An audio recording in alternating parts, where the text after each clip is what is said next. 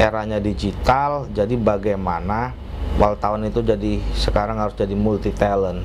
Jadi pesan saya jika memang kita tidak mau tergerus, kita tidak mau tersingkir, teman-teman teman-teman wartawan semua harus beradaptasi, terus Beradaptasi. tingkatkan kemampuan. Tingkatkan kemampuan bagaimana kita ikut perkembangan ini, kita ikut era ini, tapi tetap berpijak kepada kode etik dan tidak melanggar aturan. Ini saya apresiasi ya, luar biasa. Oh. Lugas TV ya. Nah inilah, makanya inilah kata saya media yang terus berkembang. Amin, amin.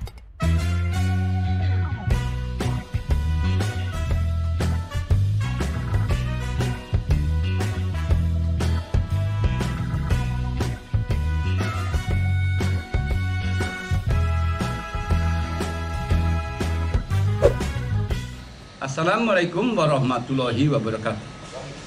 Sahabat Lukas TV di mana pun Anda berada Jumpa lagi bersama saya Pak Belangkon Dari Studio 1 Lukas TV Kota Cilegon, Banten. Kali ini menghadirkan narasumber Abang Rian Nopandra Ketua BWI Provinsi Banten. Dengan tema Di era digital Apakah peran pers maju atau mundur? Inilah dia, Bang Badia Sinaga. Silakan Bang Badia. Oke, terima kasih Pak Blangkon. Selamat sore sahabat Tugas TV di mana pun Anda berada. Kali ini, sore hari ini di Studio 1 Lugas TV Cilegon Banten tentunya ada narasumber yang juga disebutkan Pak Blangkon. Beliau adalah nomor satu uh, dari organisasi uh, PWI Persatuan Wartawan Indonesia Provinsi Banten.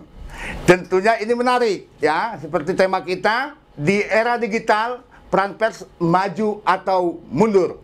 Selamat sore, Abang. Sore, sore. Oh, empat kali saya undang-undang nih.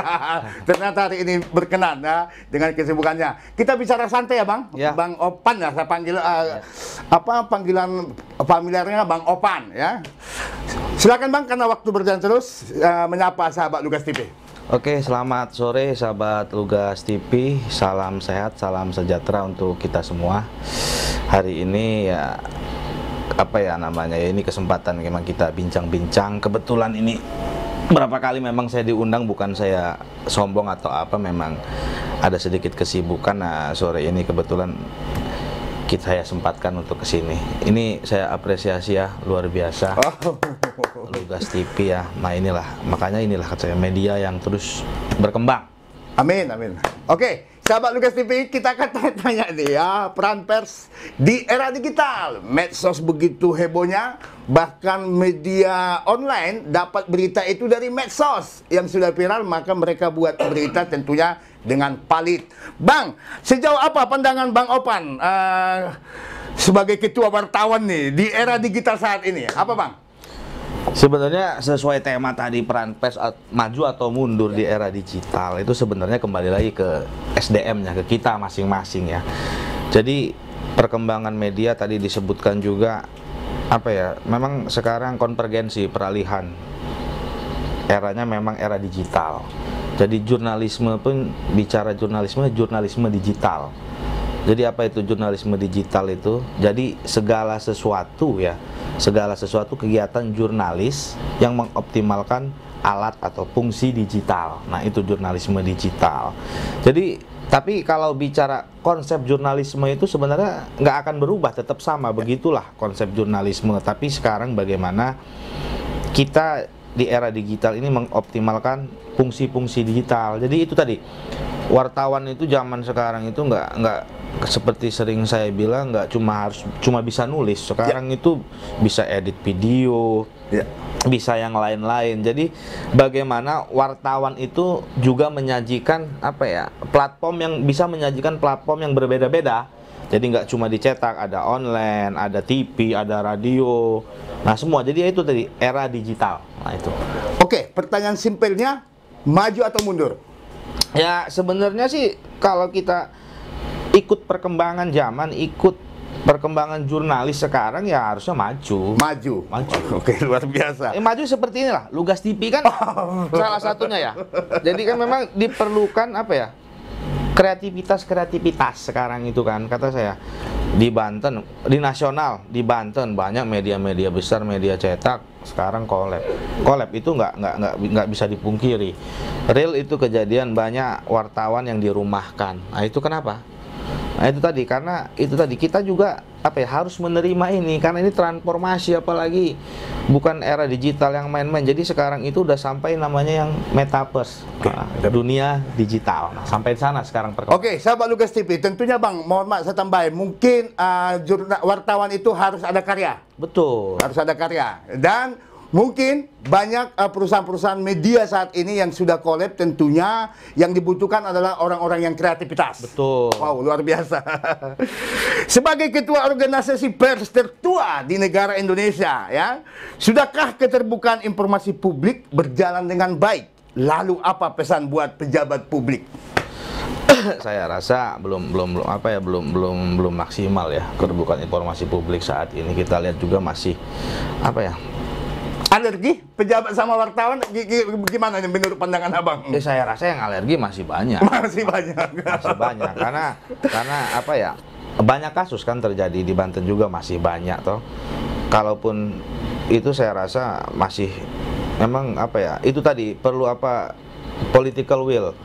Will political dari pemerintah daerah bagaimana untuk optimalisa- optimalisasi tentang keterbukaan informasi publik bagaimanapun media itu sebagai pilar keempat dalam demokrasi. Dalam kehidupan berdemokrasi berarti peran media itu sentral dan diperlukan. Dan itu nggak bisa pemerintah menutup mata dong.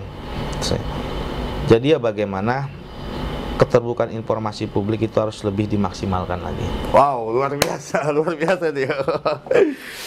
Oke, sekarang eh, saya coba nih tanya Bang, uh, bahwa khususnya Banten nih, uh, selain PWI, selain organisasi yang sudah diakui oleh Dewan Pers, tentunya ada bentuk komunitas, bentuk organisasi juga ada. Sejauh ini pandangan Abang uh, uh, seperti apa sih uh, dengan munculnya organisasi organisasi atau komunitas-komunitas ini, Bang?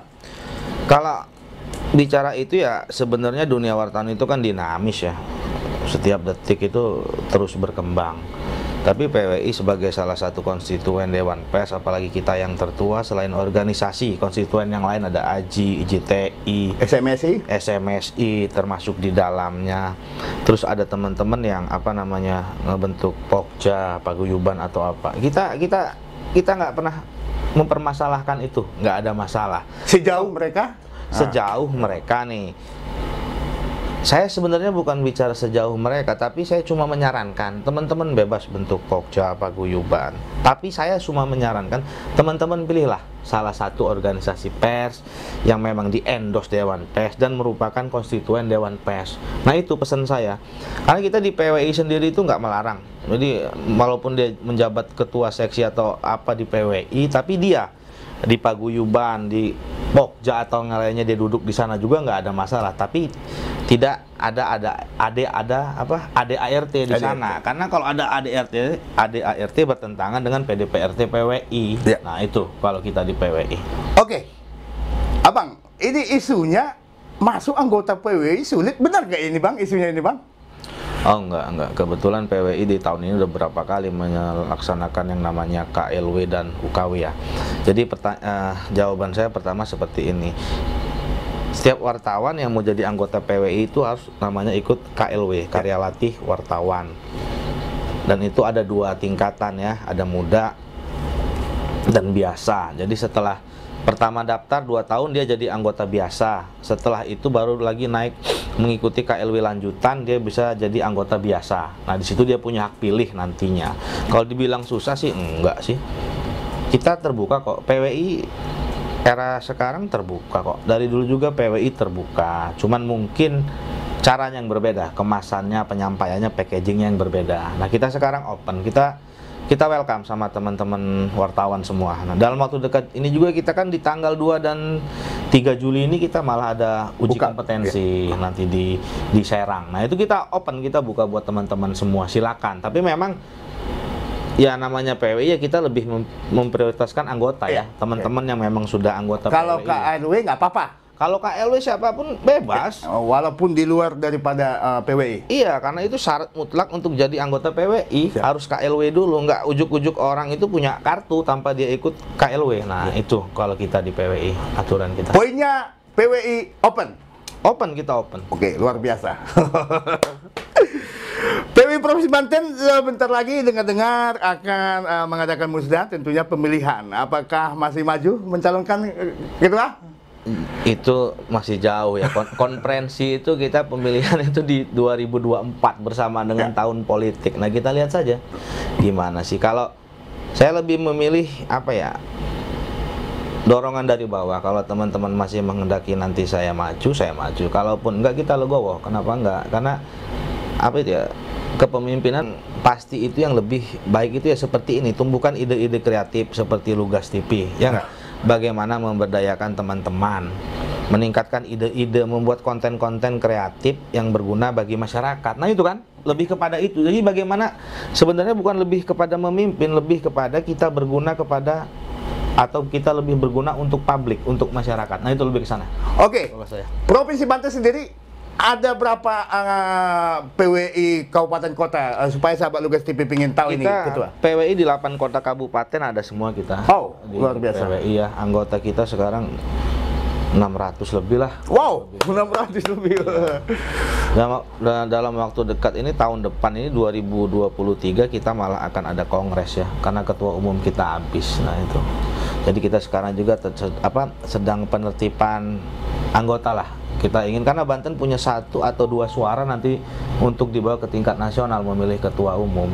Oke, sekarang terkait ketika ada anggota kita uh, wartawan yang diduga mungkin ada berhubungan uh, permasalahan dengan pejabat publik ataupun pihak kepa- uh, aparat eh, terkait sejauh ketua apakah uh, MOI antara Ma- Mabes uh, Polri dengan PW ini sudah berjalan baik ketua kalau pandangan ketua Terakhir tuh ada masalah, eh, ada satu kasus ya.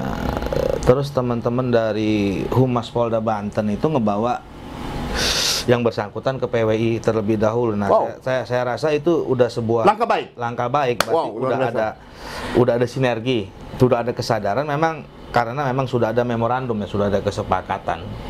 Jadi saya rasa sih sudah bagus sekarang. Sungguh bagus. Wah, sahabat Lugas TV. 600 kurang lebih anggota uh, PWI yang bergabung di Provinsi Banten. Ini masih di Banten, belum masih di 32 provinsi lainnya. Wah, luar biasa. Uh, uh, tadi ada hubungan antara PWI atau anggota PWI, ang- wartawan tentunya SDM ya kepada uh, pihak aparat kepolisian uh, sudah ada langkah baik. Betul, betul. Juga artinya ada dari pihak Humas Polda yang datang ke ke PWI. Iya. Wah, artinya Ada untuk ada ada mediasi ya. ada mediasi luar biasa. Kalau hubungan antar wartawan di luar daripada PWI sejauh apa pandangan ketua ini? Ya tadi kata saya dunia wartawan itu dinamis. ya. Dinamis. Kalau, kalau PWI sih semua apa ya? Semua teman lah ya. Semua semua rekan kita karena kembali lagi PWI itu konteksnya kan memang peningkatan kompetensi, peningkatan kualitas kalau kita di PWI. Beda dengan kita kalau ada seperti SMSI ya misalnya. SMSI itu core mereka kan memang bisnis. Ya, nah, bisnis. kalau PWI memang ke SDM-nya. Wah, ini menarik. Kita wartawan nih kan. Wartawan. Jadi itu kerja kita ya itu nggak ada pelatihan pelatihan seperti KLW, UKW, terutama UKW yang kita giatkan ini ya. Nah itu di situ kita karena kembali konteks PWI itu sejak lahir berdiri di Surakarta di Solo itu 19 setahun setelah Republik ini merdeka memang founding father kita itu PWI itu apa ya? bicaranya peningkatan kualitas. Mereka selalu dari awal bicara peningkatan kualitas wartawan, bagaimana wartawan. Nah, seperti sekarang bisa beradaptasi dengan perkembangan zaman. Nah, seperti sekarang ini kata saya. Nah, itu cita-cita dari awal para pendiri itu. Oke, luar biasa sahabat Lugas TV. Pesan kepada wartawan yang ada di Banten di luar daripada PWI tentunya selaku ketua organisasi terbesar eh, PWI. Eh, apa nih pesannya kepada eh, teman-teman kita wartawan di lapangan agar melakukan kode etik jurnalis dan tentunya dengan undang-undang pers. Silakan ketua. Iya. Jadi pertama kata saya tadi perkembangan era digital itu memang tidak bisa dielakkan, memang harus kita jalani. Nah, bagaimana teman-teman semua wartawan, kata saya tadi, mampu beradaptasi dengan perkembangan itu? Eranya digital, jadi bagaimana wartawan itu jadi sekarang harus jadi multi talent. Semua skill kewartawanan bisa bisa dikuasai dengan berpijak kepada kode etik jurnalistik. Nah, itu. Jadi kalau konsep jurnalisme kan saya tidak akan pernah berubah, cuman konteks pelaksanaannya saja yang setelah berubah sekarang. Jadi pesan saya jika memang kita tidak mau tergerus, kita tidak mau tersingkir, teman-teman teman-teman wartawan semua harus beradaptasi, terus beradaptasi. tingkatkan kemampuan. Tingkatkan kemampuan bagaimana kita ikut perkembangan ini, kita ikut era ini, tapi tetap berpijak kepada kode etik dan tidak melanggar aturan. Nah, itu pesan saya. Jadi mau tidak mau itu nggak bisa ditolak, nggak bisa ditolak. Bagaimana kita harus beradaptasi dan kata saya tadi ini lugas tipi kata saya tadi contoh satu bagaimana mengembangkan ide-ide kreatif, ide-ide kreatif kemudian yang di packaging dikemas sedemikian rupa jadi berupa informasi yang akurat dan berguna bagi publik, berguna bagi masyarakat dan kemudian nantinya mungkin jadi referensi kan para pengambil kebijakan juga ini.